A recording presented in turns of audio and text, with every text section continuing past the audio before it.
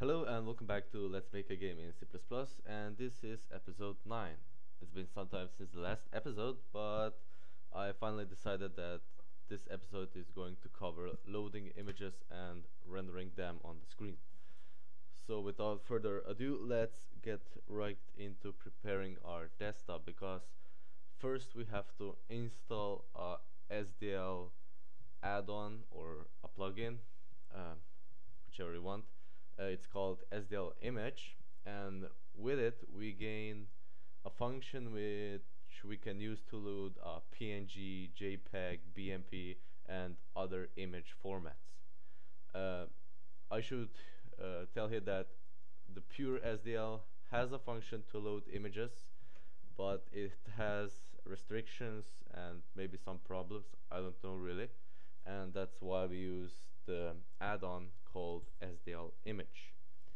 And let's first get on Windows and install it here because it always takes longer on Windows. So first you have to download the package and simply go to Google and Google for SDL image. Should be the first link. And there you have to download for the binary Windows and the second one SDL image devel so for development. Download that and after you finished you'll get a zip and you should extract that and get a folder. And in the folder you'll find an include folder and a lib folder similar to what we had in the SDL folder. So this on the right is the image folder and here on the left is the SDL folder so what we're going to do is to add the plugin to SDL. So simply copy everything in the image folder in the in the include folder in the SDL image into the include folder into SDL. Make sure it's in the SDL map. So in here where we have all the other SDL headers. Paste this. Yes, I already did it. And also copy the lib this one into the lib folder in SDL where you have your SDL installed. Paste here yes. And you can also copy all those DLL files into the bin folder in SDL so you'll have them later here because you're going to need them later when you're going to execute the game or the program. Now we have SDL prepared. This is our SDL folder it has the includes. It has the SDL image in it. Let me just find it. SDL SDL image image image image. Oh here is it. And we have the lib here SDL image. Now we have prepared everything on for SDL now let's start up Code::Blocks and let's make a new project. Empty project. And let's name it image test. Next. Yes we want this compiler. Next. We want to click on the project and click file new file C or C++ source. Next. C++ we name it name it main and we also added to debug and release. So click all and finish. Uh, this way we're going to have here's the workspace project the sources and the main CPP and now let's just do a simple test if it loads. So include sdl.h include sdl opengl.h and include sdl under dash image dot h. So like this.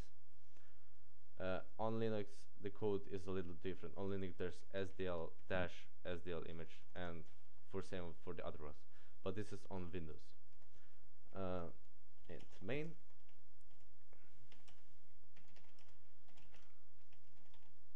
default main. And let's just initialize.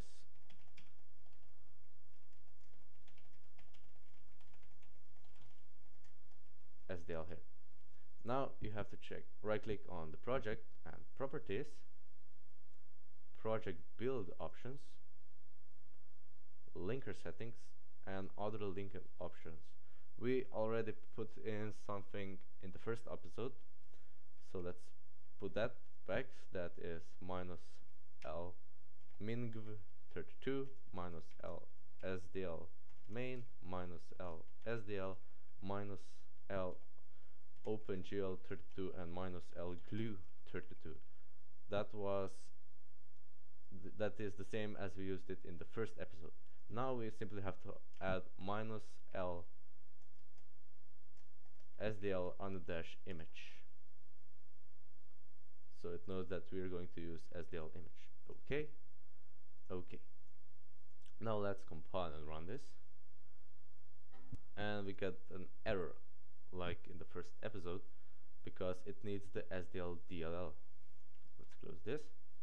Go to the folder where we have the project, image test, bin, debug, and now you have to copy in here the binaries from SDL. So we need SDL DLL and you also make sure that you copy SDL image and lib PNG if you're going to use PNGs or JPEG uh, and you can also add in zlib1 DLL I'm just going to add SDL DLL, SDL image DLL, lib PNG and zlib and paste them here where the binary has been created and now if you run that again we see that it runs and it doesn't give us an error. Uh, Windows users make sure that I'm going to go back to Linux now make sure that when you're going to create the image that you're going to put it in here in the folder where the project is. So if, if we name the project image test make sure the image is going to be here next to the source file. So this is where the file with an image is going to be like test.png or something. We're going to use png in this tutorial. So put it here. And but if you're going to run the game from inside the bin folder so if you like double click on this then make sure that the image is here. To make sure just put image here and here so it will always work. Because if you run the uh, program from the IDE from here then the image has to be next to the source. And that's basically it for setting up SDL image in on Windows. So let's close this and let's go return back to the Linux. And all you have to do this is simply install the SDL image package on your Linux distribution. It's different on depending on the distribution but if you know a little about your system then it should not be too hard. I think that on Ubuntu you have to go to the Synaptic package manager and search for SDL image take that take the SDL image and just install it. On Arch Linux is yaourt.ssdl just make sure.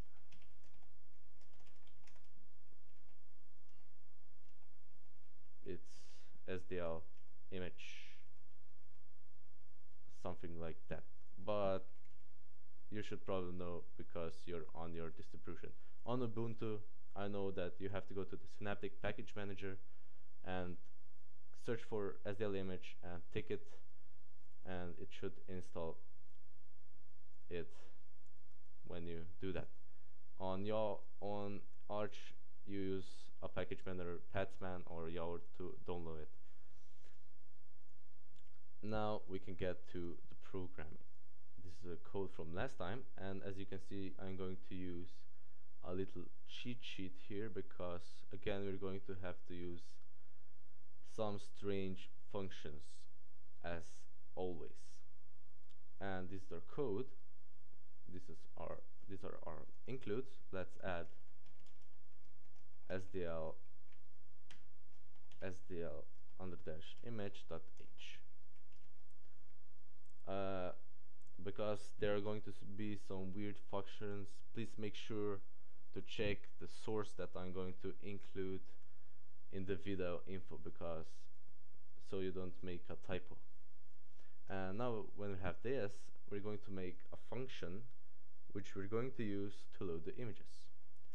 I'm going to include string library so we can use strings and let's make the function. So the function the return type is going to be gluint let's name the function load texture. And the parameter is going to be constant string. So uh, name of the file and we're going to name it file name. And now first we have to load the image into an SDL surface. And we do that by using SDL surface which is a type in SDL make a new data and call the function image load which is a SDL image add-on function which loads an image. And then we simply put in the file name in here. So this is a C type string of this. Uh, you don't have to worry if you don't quite understand this. Just copy this function I'm going to give and it should work. So this is for loading the image into an SDL surface. Now we have to set the display format of the image. So SDL display format alpha image. Now I have to create a texture. So unsigned unsigned object. Let's call it object. Zero. Let's set it to zero then we have to generate a texture with gl gen textures. One and we have to name where so object. Then we bind the texture to gl texture 2d so gl bind texture gl texture 2d and what we're going to bind that is the object and then there are some functions which I'm just going to copy that are used to create a texture out of the SDL surface. These two, these four functions set how the texture is going to behave, like it's going to clamp to the edge of the area that it's being rendered to, I mean blended to. This one and this function actually creates the texture from the SDL surface. And at the end we free this SDL surface calling the SDL free surface function. So this is the function. Uh, just make sure you copy it correctly from the source that I'm going to include and you're already set to go to load images and use them. So let's get to our code. And before the main loop no yes before the main loop here's the main game loop we're going to load an image. And we do that we have to make a data. So unsigned int and let's name it for now pad texture. And set it to no actually set to zero. Doesn't matter. So if you want to load that image you have to use an unsigned int for type and then you simply put a name. And then we can load the image. Pad texture is equal to load texture. We call the function we just wrote and then we name in the parameter the name of the file. Let's call it test.png and I'm just going to create an image let's bring up GIMP. Some very simple image. Uh, let's make file new. Let's make it 60 by 40 pixels. Okay. And let's just draw something on it. Some other color. Let's make it like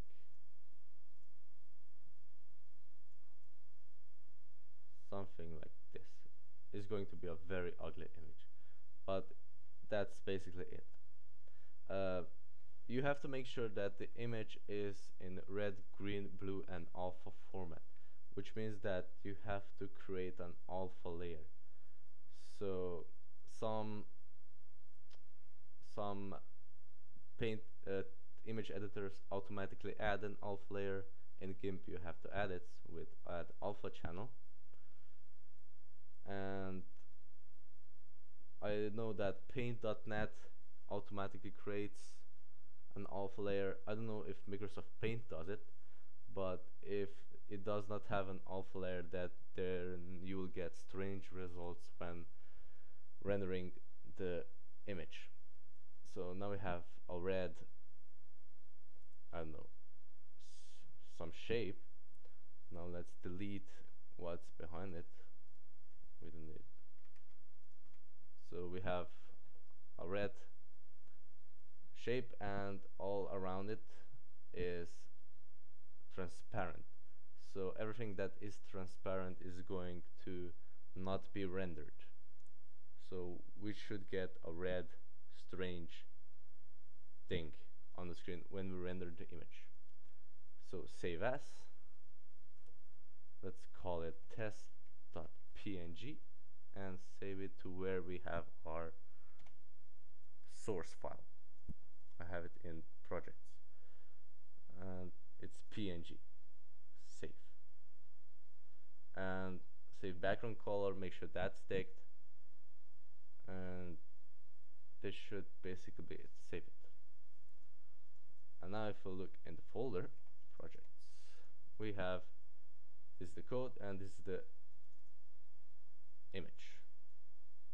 And now we should be able to load it and make it and it in the program. So we have the function up here.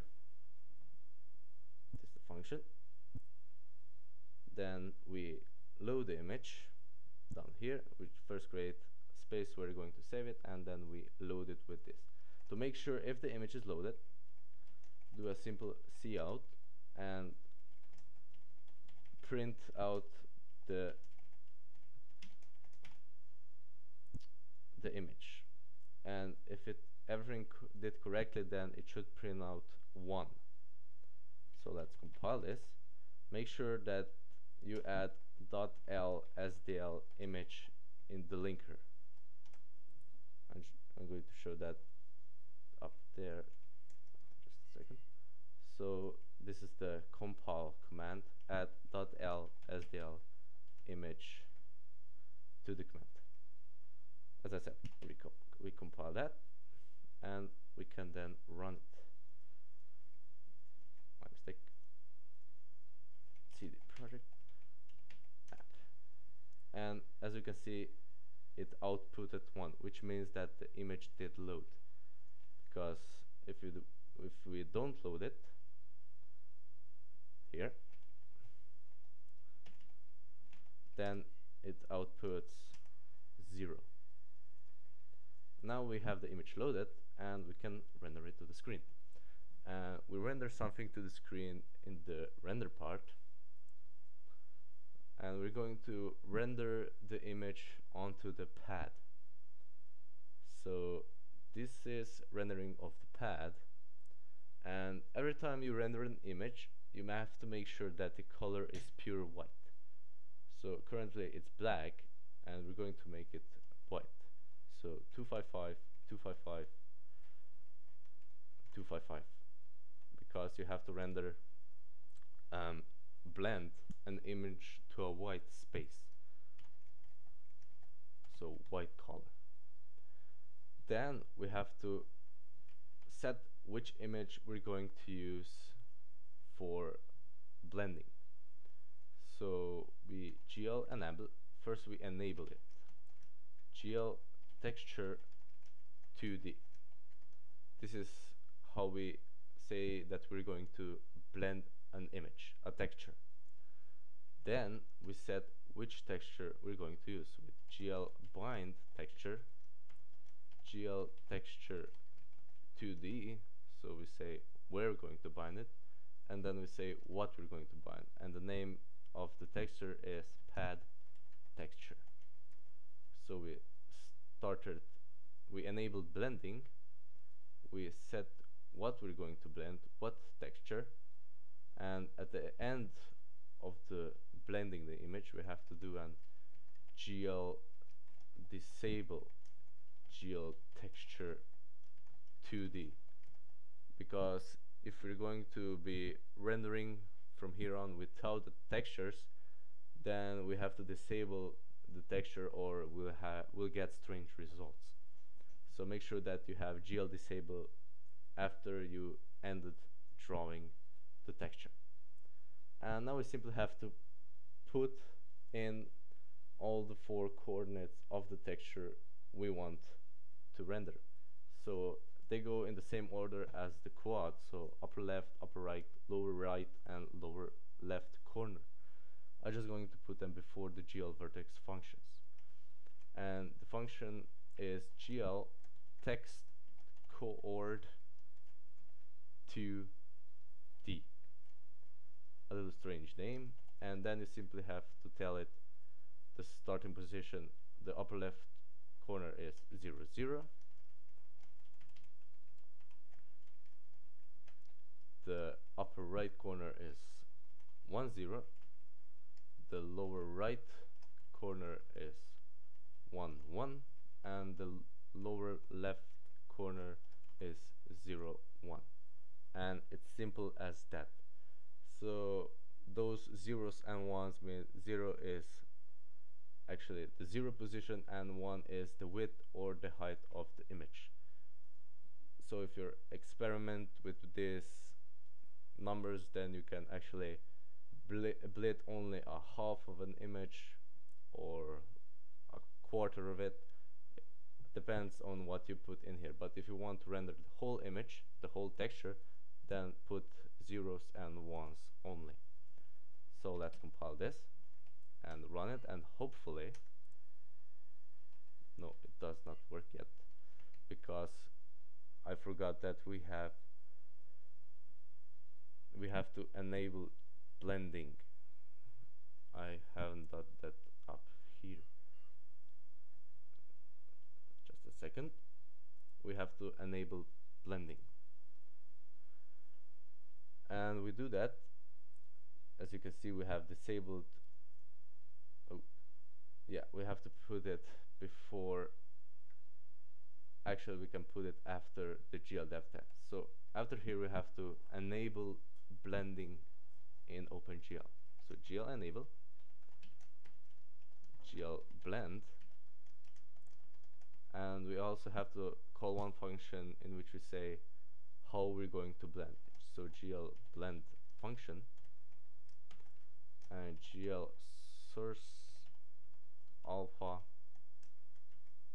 Actually, I'm just going to copy that.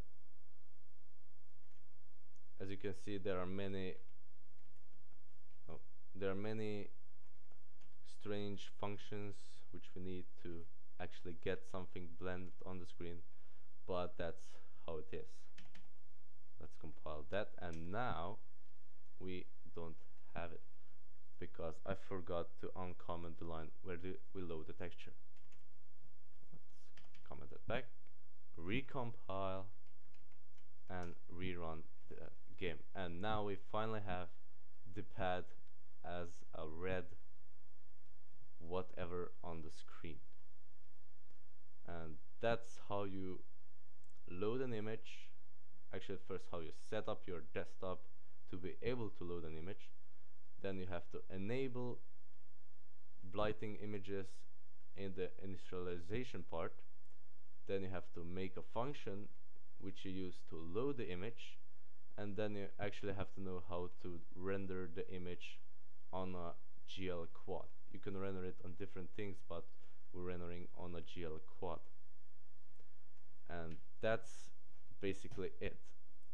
Please make sure that you look into the source code that I'm going to include, copy the function. If you want to do some researching on the internet, then do it. But you don't really have to know exactly what this function does and so on.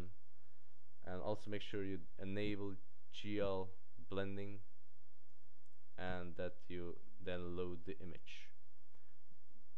Basically what you have to remember is how you render something and that is using the GL enable and GL bind function, GL disable function and GL text coordinate function. These are the important ones which you're going to remember if you're going to do rendering. And that's all for episode 9. See you